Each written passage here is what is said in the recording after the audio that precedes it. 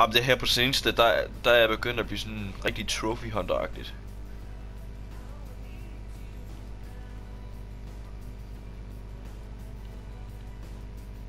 Ja. Jamen, øh, vi ses du.